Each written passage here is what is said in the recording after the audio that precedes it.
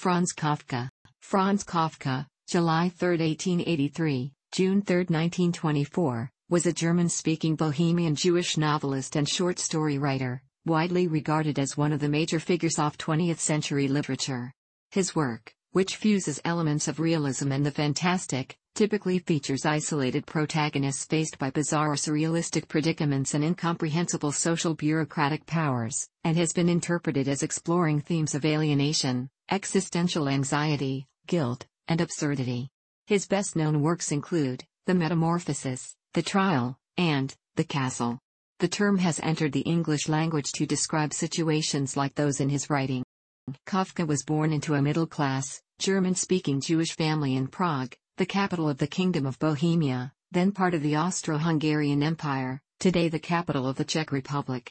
He trained as a lawyer, and after completing his legal education, he was employed by an insurance company, forcing him to relegate writing to his spare time. Over the course of his life, Kafka wrote hundreds of letters to family and close friends, including his father, with whom he had a strained and formal relationship. He became engaged to several women but never married. He died in 1924 at the age of 40 from tuberculosis. Few of Kafka's works were published during his lifetime, the story collections, Contemplation, and A Country Doctor, and individual stories, such as, were published in literary magazines but received little public attention. Kafka's unfinished works, including his novels, and, translated as both America and the Man Who Disappeared, were ordered by Kafka to be destroyed by his friend Max Brod, who nonetheless ignored his friend's direction and published them after Kafka's death.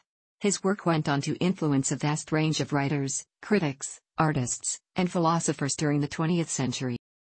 Kafka was born near the Old Town Square in Prague, then part of the Austro-Hungarian Empire. His family were German-speaking middle-class Ashkenazi Jews. His father, Hermann Kafka, 1854-1931, was the fourth child of Jacob Kafka, a or ritual slaughterer in Osek, a Czech village with a large Jewish population located near Strakonice in southern Bohemia. Hermann brought the Kafka family to Prague. After working as a traveling sales representative, he eventually became a fashion retailer who employed up to 15 people and used the image of a jackdaw, in Czech, pronounced and colloquially written as Kafka as his business logo. Kafka's mother, Julie, 1856-1934, was the daughter of Jacob Loewy, a prosperous retail merchant in Poděbrad, and was better educated than her husband. Kafka's parents probably spoke a German influenced by Yiddish that was sometimes pejoratively called Mauscheldeutsch, but, as the German language was considered the vehicle of social mobility, they probably encouraged their children to speak Standard German. Hermann and Julie had six children, of whom Franz was the eldest. Franz's two brothers, Georg and Heinrich, died in infancy before Franz was seven. His three sisters were Gabrielle, Ellie 1889-1944, Valerie, Valli 1890-1942, and Ottilie, Otla 1892-1943. They all died during the Holocaust of World War II. Valli was deported to the Łódź ghetto in occupied Poland in 1942, but that is the last documentation of her. Ottilie was his favorite sister. Hermann is described by the biographer Stanley Corngold as a huge, selfish, overbearing businessman and by Franz Kafka as a true Kafka in strength, health, appetite, loudness of voice, eloquence, self-satisfaction, worldly dominance, endurance, presence of mind, and knowledge of human nature. On business days, both parents were absent from the home, with Julie Kafka working as many as 12 hours each day helping to manage the family business. Consequently, Kafka's childhood was somewhat lonely, and the children were reared largely by a series of governesses and servants. Kafka's troubled relationship with his father is evident in his letter to his father, of more than 100 pages, in which he complains of being profoundly affected by his father's authoritarian and demanding character. His mother, in contrast, was quiet and shy. The dominating figure of Kafka's father had a significant influence on Kafka's writing. The Kafka family had a servant girl living with them in a cramped apartment. Franz's room was often cold, in November 1913 the family moved into a bigger apartment, although Ellie and Valli had married and moved out of the first apartment. In early August 1914, just after World War I began, the sisters did not know where their husbands were in the military and moved back in with the family in this larger apartment. Both Ellie and Valli also had children. Franz at age 31 moved into Valli's former apartment, quiet by contrast, and lived by himself for the first time. From 1889 to 1893, Kafka attended the German boys' elementary school at the Meat Market, now known as Mosna Street. His Jewish education ended with his bar mitzvah celebration at the age of 13. Kafka never enjoyed attending the synagogue and went with his father only on four high holidays a year. After leaving elementary school in 1893, Kafka was admitted to the rigorous classics-oriented State Gymnasium, an academic secondary school at Old Town Square, within the Kinsky Palace.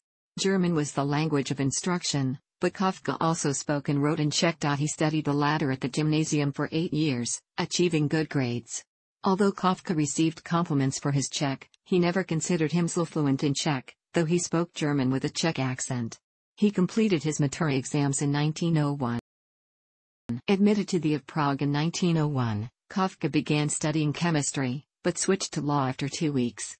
Although this field did not excite him, it offered a range of career possibilities which pleased his father. In addition, law required a longer course of study, giving Kafka time to take classes in German studies and art history.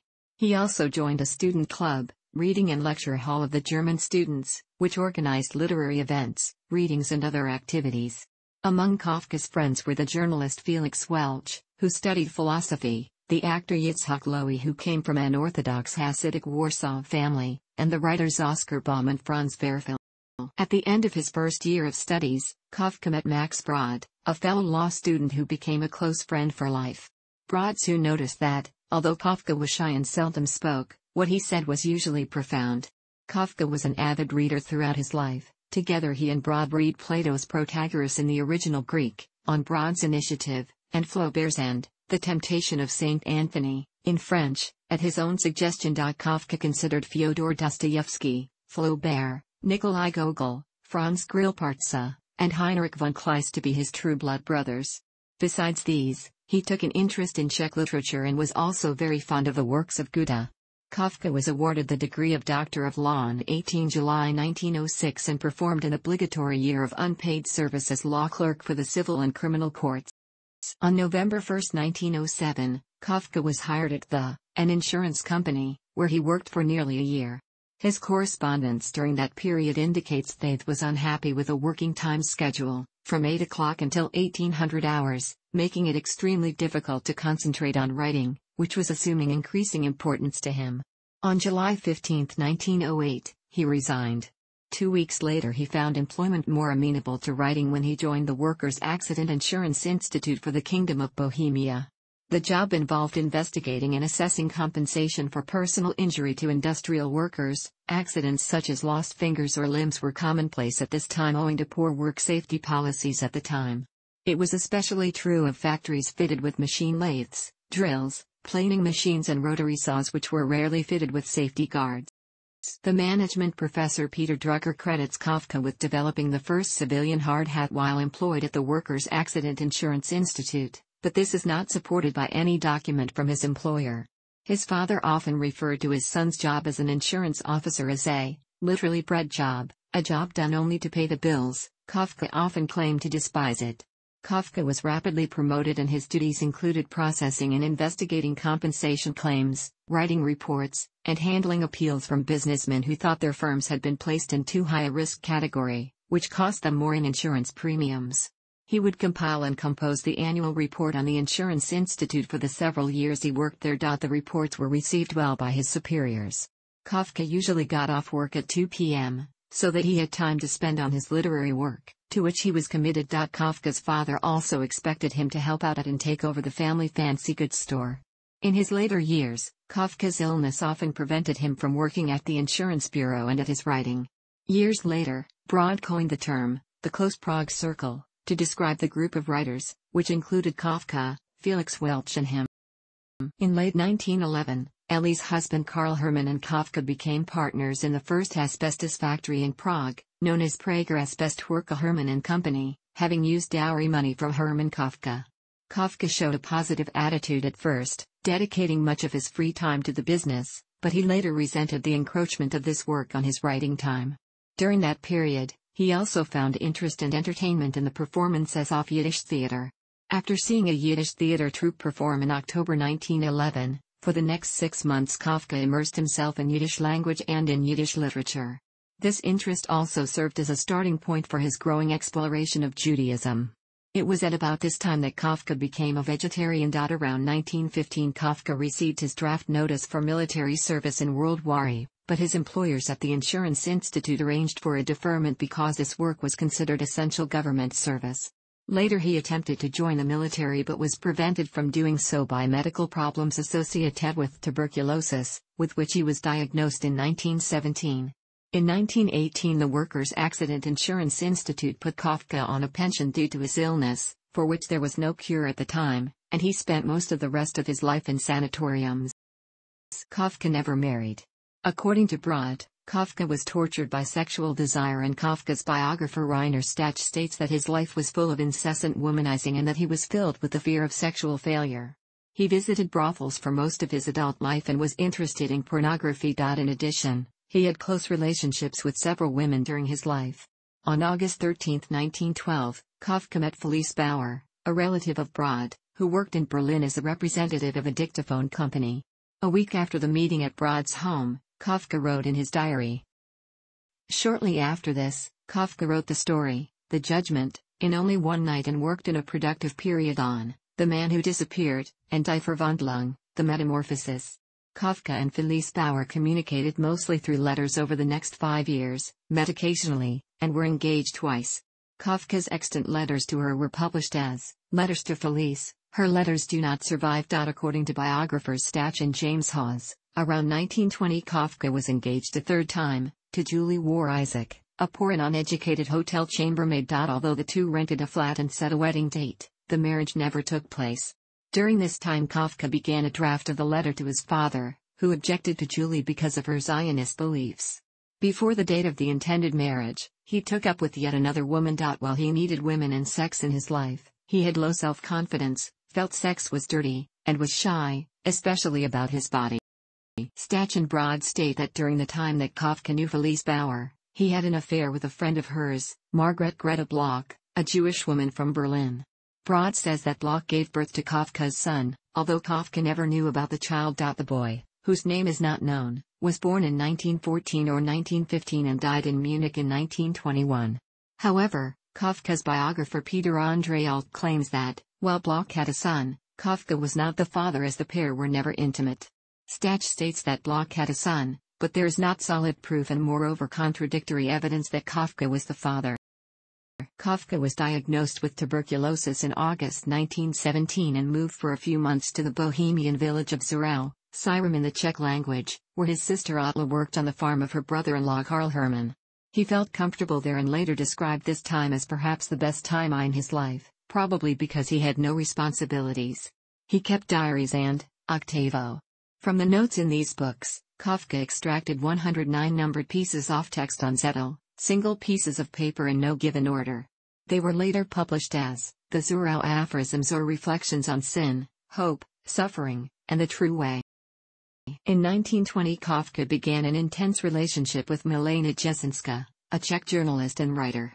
His letters to her were later published as During a vacation in July 1923 to Graal-Müritz on the Baltic Sea, Kafka met Dora Diamant, a 25-year-old kindergarten teacher from an Orthodox Jewish family. Kafka, hoping to escape the influence of his family to concentrate on his writing, moved briefly to Berlin and lived with Diamant. She became his lover and caused him to become interested in the Talmud. He worked on four stories, which he prepared to be published as a hunger artist. Kafka feared that people would find him mentally and physically repulsive.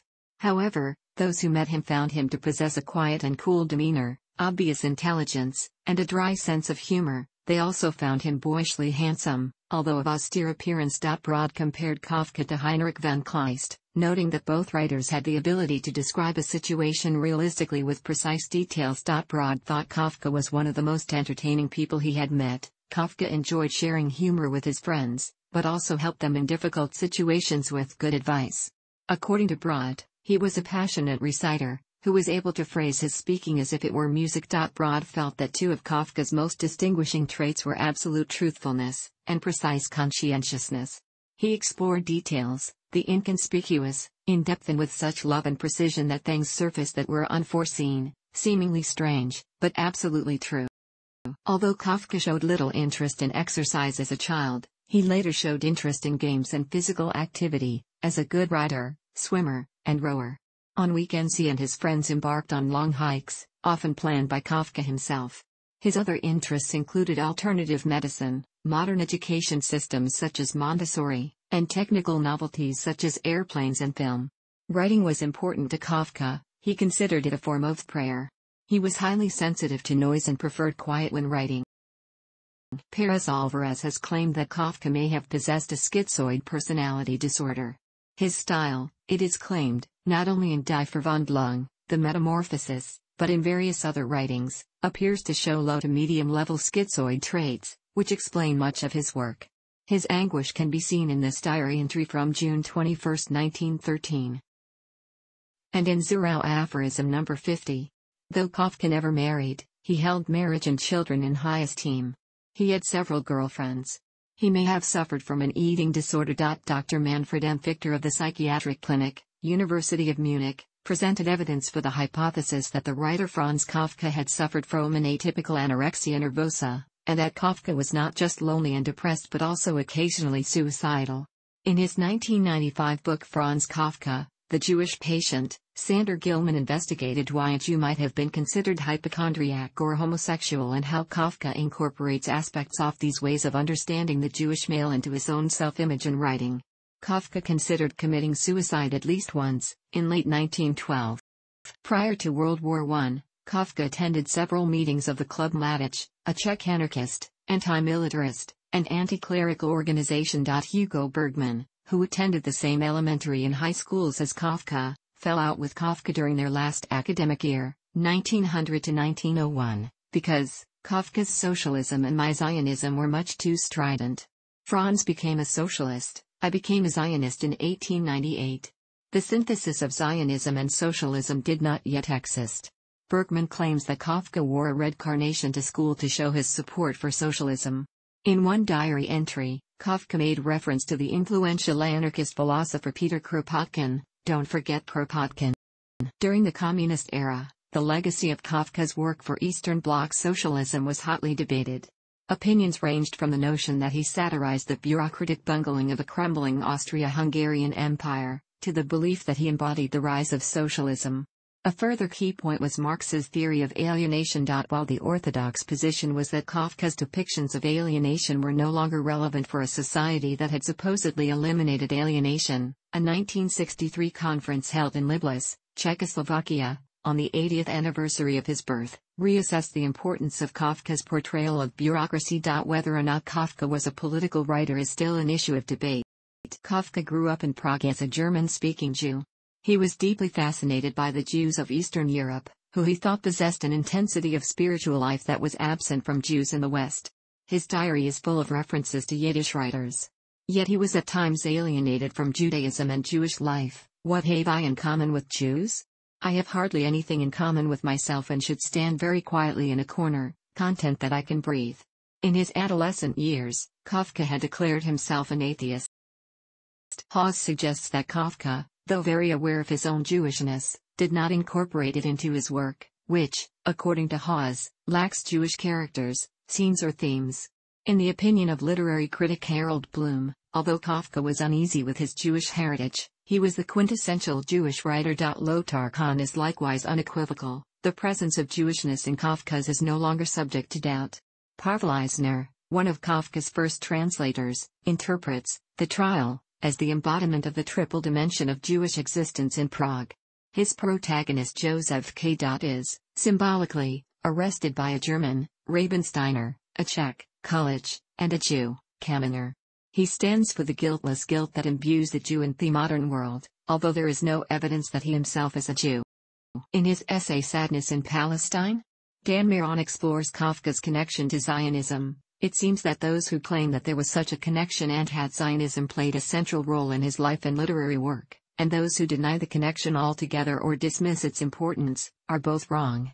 The truth lies in some very elusive place between these two simplistic poles. Kafka considered moving to Palestine with Felice Bauer, and later with Dora Diamant. He studied Hebrew while living in Berlin, hiring a friend of Brod's from Palestine, Puah Tehillim, to tutor him and attending Rabbi Julius Gruntal's and Rabbi Julius Gutman's classes in the Berlin College for the Study of Judaism. Livia Roth-Kirchen calls Kafka the symbolic figure of his era. His contemporaries included numerous Jewish, Czech, and German writers who were sensitive to Jewish, Czech, and German culture. According to Roth-Kirchen, this situation lent their writings a broad cosmopolitan outlook and a quality of exaltation bordering on transcendental metaphysical contemplation. An illustrious example is Franz Kafka. Towards the end of his life Kafka sent a postcard to his friend Hugo Bergmann in Tel Aviv, announcing his intention to emigrate to Palestine. Bergmann refused to host Kafka because he had young children and was afraid that Kafka would infect them with tuberculosis. Kafka's laryngeal tuberculosis worsened and in March 1924 he returned from Berlin to Prague, where members of his family, principally his sister Otla, took care of him. He went to Dr. Hoffman's sanatorium in Kierling just outside Vienna for treatment on 10 April, and died there on June 3, 1924. The cause of death seemed to be starvation. The condition of Kafka's throat made eating too painful for him, and since parenteral nutrition had not yet been developed, there was no way to feed him. Kafka was editing A Hunger Artist on his deathbed, a story whose composition he had begun before his throat closed to the point that he could not take any nourishment. His body was brought back to Prague where he was buried on June 11, 1924, in the new Jewish cemetery in Prague. Kafka was virtually unknown during his own lifetime, but he did not consider fame important. He rose to fame rapidly after his death, particularly after World War II. The Kafka tombstone was designed by architect Leopold Ehrmann. All of Kafka's published works, except some letters he wrote in Czech to Milena Jesenska, were written in German. What little was published during his lifetime attracted scant public attention. Kafka finished none of his full-length novels and burned around 90% of his work, much of it during the period he lived in Berlin with Diamant, who helped him burn the drafts. In his early years as a writer, he was influenced by von Kleist, whose work he described in a letter to Bauer as frightening, and whom he considered closer than his own family. Kafka's earliest published works were eight stories which appeared in 1908 in the first issue of the literary journal Hyperion under the title, Contemplation. He wrote the story, Description of a Struggle, in 1904. He showed it to Brod in 1905 who advised him to continue writing and convinced him to submit it to Hyperion. Kafka published a fragment in 1908 and two sections in the spring of 1909, all in Munich. In a creative outburst on the night of September 22, 1912, Kafka wrote the story Das Urteil, The Judgment, literally, the verdict, and dedicated it to Felice Bauer. Brod noted the similarity in names of the main character and his fictional fiancé, Georg Bendemann and Frieda Brandenfeld, to Franz Kafka and Felice Bauer. The story is often considered Kafka's breakthrough work. It deals with the troubled relationship of a son and his dominant father, facing a new situation after the son's engagement. Kafka later described writing it as a complete opening of body and soul, a story that evolved as a true birth, covered with filth and slime. The story was first published in Leipzig in 1912 and dedicated to Miss Felice Bauer, and in subsequent editions for F. In 1912, Kafka wrote Die Verwandlung, The Metamorphosis, or The Transformation, Published in 1915 in Leipzig. The story begins with a traveling salesman waking to find himself transformed into a, a monstrous vermin, being a general term for unwanted and unclean animals. Critics regard the work as one of the seminal works of fiction of the 20th century. The story in Der Strafkolonie, in the penal colony, dealing with an elaborate torture and execution device, was written in October 1914, revised in 1918, and published in Leipzig during October 1919. The story Ein Hungerkünstler, a hunger artist, published in the periodical in 1924, describes a victimized protagonist who experiences a decline in the appreciation of his strange craft of starving himself for extended periods. His last story, Josephine, Die Sängerin oder das Volk der Maus, Josephine the Singer, or the Mouse Folk, also deals with the relationship between an artist and his audience. He began his first novel in 1912. Its first chapter is the story Der Heizer, The Stoker. Kafka called the work, which remained unfinished, The Man Who Disappeared or The Missing Man, but when Brod published it after Kafka's death he named it America. The inspiration for the novel was the time spent in the audience of Yiddish theater the previous year, bringing him to a new awareness of his heritage, which led to the thought that an innate appreciation for one's heritage lies deep within each person. More explicitly humorous and slightly more realistic than most of Kafka's works, the novel shares the motif of an oppressive and intangible system putting the protagonist repeatedly in bizarre situations. It uses many details of experiences of his relatives who had emigrated to America and is the only work for which Kafka considered an optimistic ending. During 1914, Kafka began the novel, The Trial, the story of a man arrested and prosecuted by a remote, inaccessible authority, with the nature of his crime revealed neither to him nor to the reader. Kafka did not complete the novel, although he finished the final chapter. According to Nobel Prize winner and Kafka scholar Elias Canetti, Felice is central to the plot of Der Process and Kafka said it was her story. Canetti titled his book on Kafka's letters to Felice Kafka's Other Trial, in recognition of the relationship between the letters and the novel. Michiko Kakutani notes in a review for the New York Times that Kafka's letters have the earmarks of his fiction, the same nervous attention to minute particulars, the same paranoid awareness of shifting balances of power, the semi atmosphere of emotional suffocation, combined, surprisingly enough, with moments of boyish ardor and delight. According to his diary, Kafka was already planning his novel, The Castle, by June 11, 1914. However, he did not begin writing it until January 27, 1922. The protagonist is the land surveyor, named K, who struggles for unknown reasons to gain access to the mysterious authorities of a castle who govern the village. Kafka's intent was that the castle's authorities notify K. On his deathbed that his legal claim to live in the village was not valid, yet, taking certain auxiliary circumstances into account, he was to be permitted to live and work there. Dark and at times surreal, the novel is focused on alienation, bureaucracy, the seemingly endless frustrations of man's attempts to stand against the system, and the futile and hopeless pursuit of an unobtainable goal. Hartmut M. Rastalsky noted in his thesis, like dreams, his texts combine precise realistic detail with absurdity, careful observation and reasoning on the part of the protagonists with inexplicable obliviousness and carelessness. Kafka's stories were initially published in literary periodicals.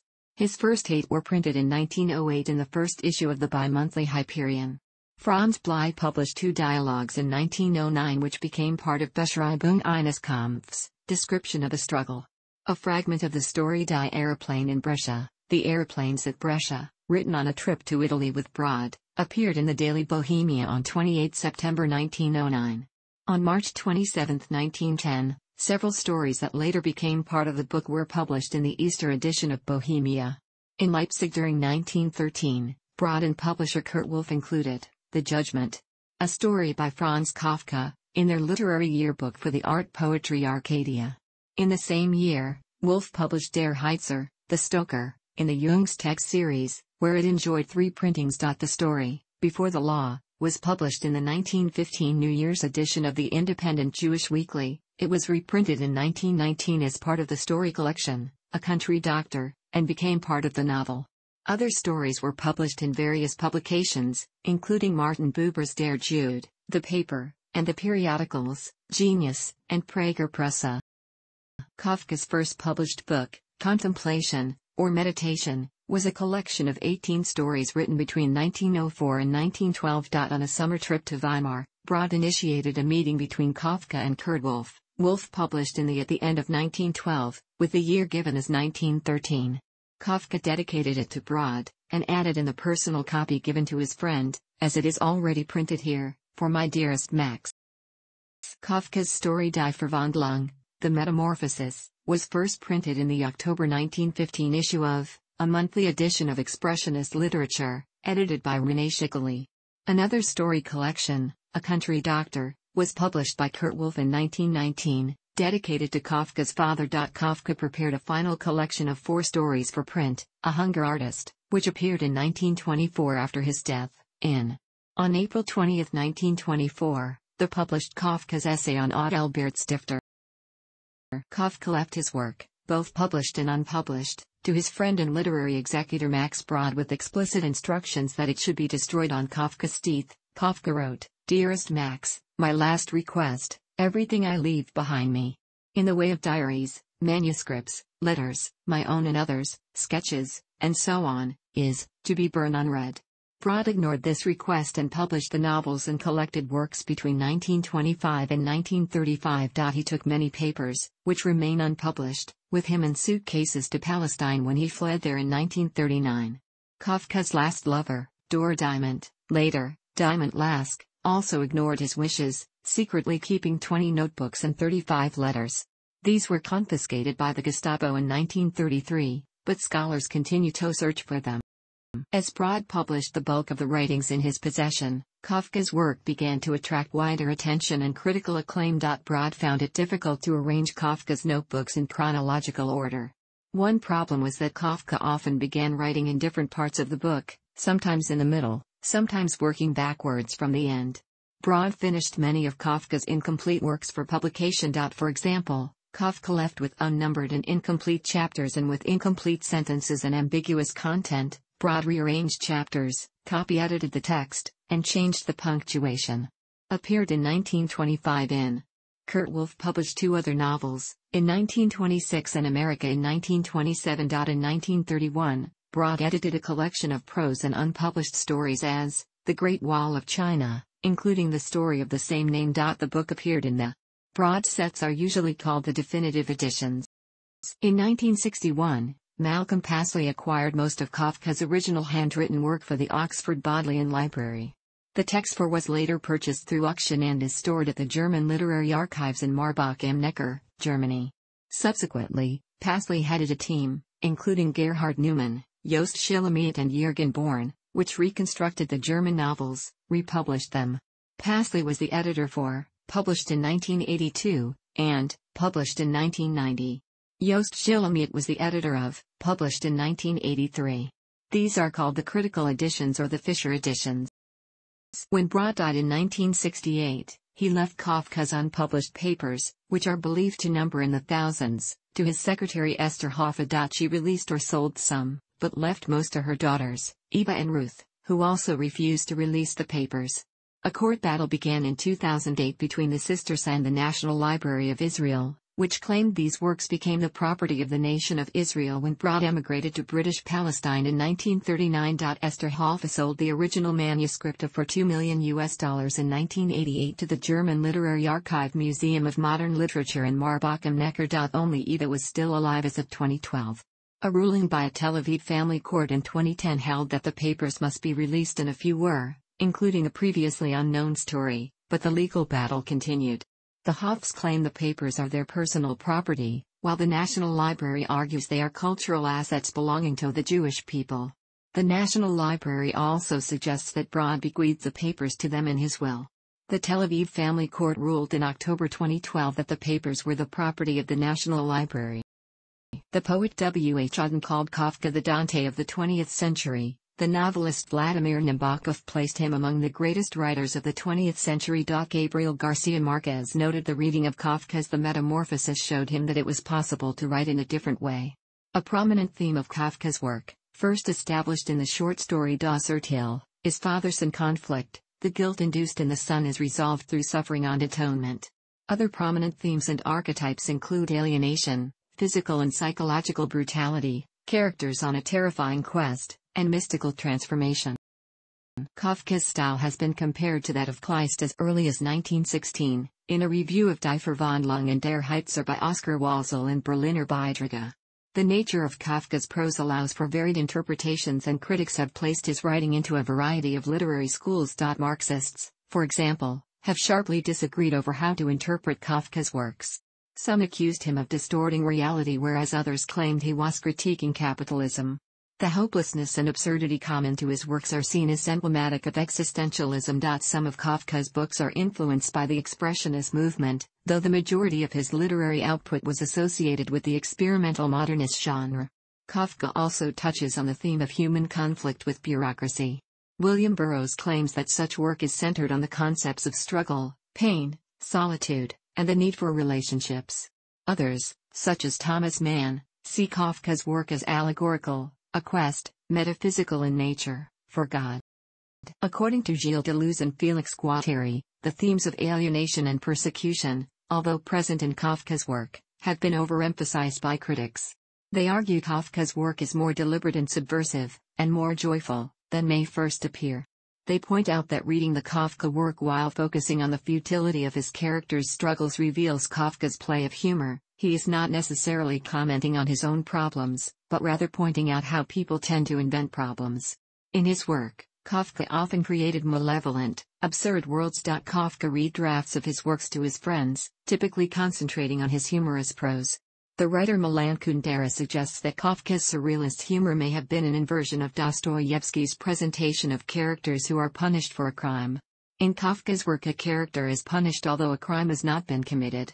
Kundera believes that Kafka's inspirations for his characteristic situations came both from growing up in a patriarchal family and living in a totalitarian state. Attempts have been made to identify the influence of Kafka's legal background and the role of law in his fiction. Most interpretations identify aspects of law and legality as important in his work, in which the legal system is often oppressive. The law in Kafka's works, rather than being representative of any particular legal or political entity, is usually interpreted to represent a collection of anonymous, incomprehensible forces. These are hidden from the individual but controlled lives of the people, who are innocent victims of systems beyond their control. Critics who support this absurdist interpretation cite instances where Kafka describes himself in conflict with an absurd universe, such as the following entry from his diary. However, James Hawes argues many of Kafka's descriptions of the legal proceedings in metaphysical, absurd, bewildering and nightmarish as they might appear, are based on accurate and informed descriptions of German and Austrian criminal proceedings of the time, which were inquisitorial rather than adversarial. Although he worked in insurance, as a trained lawyer, Kafka was keenly aware of the legal debates of his day. In an early 21st century publication that uses Kafka's office writings as its point of departure, Pothik Ghosh states that with Kafka, law has no meaning outside its fact of being a pure force of domination and determination. The earliest English translations of Kafka's works were by Edwin and Willa Muir, who in 1930 translated the first German edition of this was published as The Castle by Secker and Warburg in England and Alfred A. Knopf in the United States. A 1941 edition, including a homage by Thomas Mann, spurred a surge in Kafka's popularity in the United States during the late 1940s. The Muirs translated all shorter works that Kafka had seen fit to print, they were published by Schocken Books in 1948 as, including additionally the first long train journey, written by Kafka and Brod, Kafka's a novel about youth, a review of Felix Sternheim's Die Geschichte der Jungen Oswald, his essay on Kleist's anecdotes, his review of the literary magazine Hyperion, and an epilogue by Brod. Later editions, notably those of 1954, Dearest Father. Stories and other writings, included text, translated by Eithne Wilkins and Ernst Kaiser, which had been deleted by earlier publishers. Known as definitive editions, they include translations of The Trial, Definitive, The Castle, Definitive, and other writings. These translations are generally accepted to have a number of biases and are considered to be dated in interpretation. Published in 1961 by Schocken Books, Parables and Paradoxes presented in a bilingual edition by Nahum and Glatzer selected writings, drawn from notebooks, diaries, letters, short fictional works and the novel Der Process.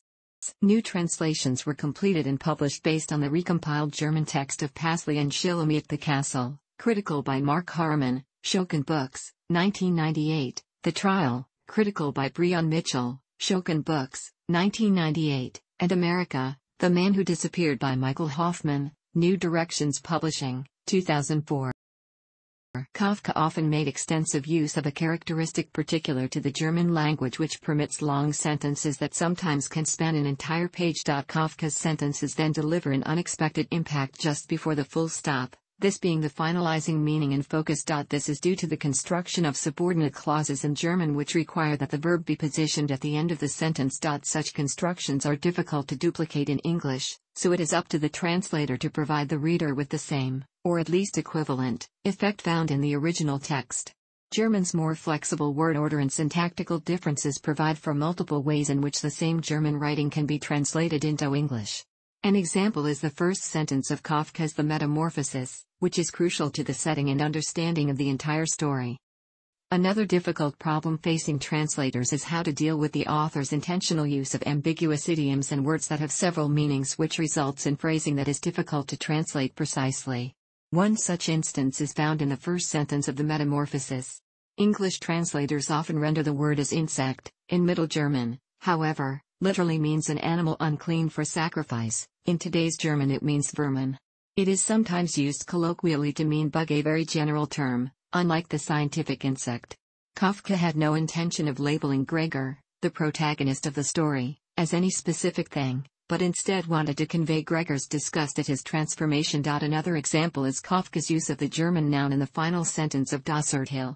Literally, means intercourse and, as in English, can have either a sexual or a non-sexual meaning. In addition, it is used to mean transport or traffic. The sentence can be translated as, at that moment an unending stream of traffic crossed over the bridge. The double meaning of Verkehr is given added weight by Kafka's confession to Brod that when he wrote that final line, he was thinking of a violent ejaculation. Unlike many famous writers, Kafka is rarely quoted by others. Instead, he is noted more for his visions and perspective. Shimon Sandbank, a professor, literary critic, and writer, identifies Kafka as having influenced Jorge Luis Borges, Albert Camus, Eugene Ionesco, J. M. Coetzee and Jean-Paul Sartre.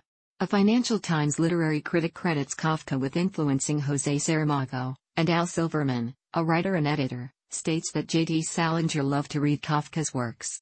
In 1999 a committee of 99 authors, scholars, and literary critics ranked in the second and ninth most significant German-language novels of the 20th century. Sandbank argues that despite Kafka's pervasiveness, his enigmatic style has yet to be emulated. Neil Christian Pages, a professor of German studies and comparative literature at Binghamton University who specializes in Kafka's works, says Kafka's influence transcends literature and literary scholarship, it impacts visual arts, music, and popular culture. Harry Steinhauer, a professor of German and Jewish literature, says that Kafka has made a more powerful impact on literate society than any other writer of the 20th century. Brod said that the 20th century will one day be known as the century of Kafka. Michel-André Bossy writes that Kafka created a rigidly inflexible and sterile bureaucratic universe. Kafka wrote in an aloof manner full of legal and scientific terms. Yet his serious universe also had insightful humor, all highlighting the irrationality at the roots of a supposedly rational world. His characters are trapped, confused, full of guilt, frustrated, and lacking understanding of their surreal world. Much of the post-Kafka fiction, especially science fiction, follow the themes and precepts of Kafka's universe. This can be seen in the works of authors such as George Orwell and Ray Bradbury. The following are examples of works across a range of literary, musical, and dramatic genres which demonstrate the extent of cultural influence. The term Kafkaesque is used to describe concepts and situations reminiscent of his work, particularly, the trial, and Die Verwandlung, the metamorphosis. Examples include instances in which bureaucracies overpower people, often in a surreal, nightmarish milieu which evokes feelings of senselessness, disorientation, and helplessness. Characters in a Kafkaesque setting often lack a clear course of action to escape a labyrinthine situation. Kafkaesque elements often appear in existential works, but the term has transcended the literary realm to apply to real life occurrences and situations that are incomprehensibly complex, bizarre, or illogical. Numerous films and television works have been described as Kafkaesque, and the style is particularly prominent in dystopian science fiction. Works in this genre that have been thus described include Patrick Bokanowski's 1982 film The Angel, Terry Gilliam's 1985 film Brazil, and the 1998 science fiction film noir, Dark City. Films from other genres which have been similarly described include The Tenant, 1976, and Barton Fink, 1991. The television series The Prisoner and The Twilight Zone are also frequently described as Kafkaesque. However, with common usage, the term has become so ubiquitous that Kafka scholars note it's often misused. More accurately then, according to author Ben Marcus, paraphrased in What It Means to be Kafkaesque by Joe Fassler in The Atlantic, Kafka's quintessential qualities are affecting use of language, a setting that straddles fantasy and reality, and a sense of striving even in the face of bleakness, hopelessly and full of hope. The Franz Kafka Museum in Prague is dedicated to Kafka and his work. A major component of the museum is an exhibit The City of K. Franz Kafka in Prague, which was first shown in Barcelona in 1999, moved to the Jewish Museum in New York City, and was finally established in 2005 in Prague and Malá Strana, lesser town, along the Moldau. The museum calls its display of original photos and documents Mesto K. Franz Kafka Praha, City K. Kafka and Prague, and aims to immerse the visitor into the world in which Kafka lived and about which he wrote. The Franz Kafka Prize is an annual literary award of the Franz Kafka Society and the City of Prague established in 2001. It recognizes the merits of literature as humanistic character and contribution to cultural, national, language and religious tolerance, its existential, timeless character, its generally human validity, and its ability to hand over a testimony about our times. The selection committee and recipients come from all over the world, but are limited to living authors who have had at least one work published in the Czech language. The recipient receives $10,000, a diploma, and a bronze statuette at a presentation in Prague's Old Town Hall on the Czech state holiday in late October. San Diego State University, SDSU, operates the Kafka Project, which began in 1998 as the official international search for Kafka's last writings. Newspapers, online sources, journals. Thanks for watching. Don't forget like the video and don't forget to subscribe.